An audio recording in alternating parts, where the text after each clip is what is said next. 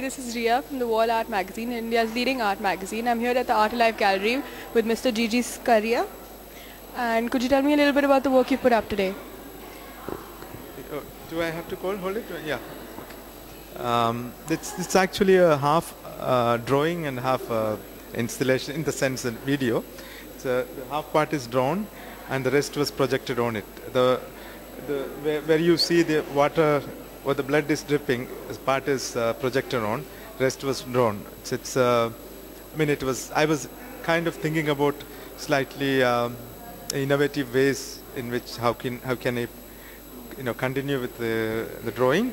I mean, I do love drawing and I've been, the drawing is the base of all of my works and it's because I do all, a lot of artic- architectural motive in my work.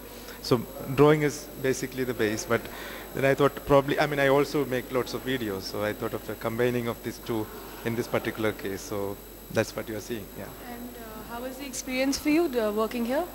It, it has been very interesting, and uh, though I couldn't spend too much time, it's uh, been here only for two two days to work. Yeah, but I had a lot of plan- planning before, so I had already made the image and I already kind of made a small version of it in order to project it. Then that, based on the projection, I made the drawing initially. Then, based on that projection, I also made the video. So then it was projected on top of it. Yeah. Thank you so much. Thank you. Thank you. really nice.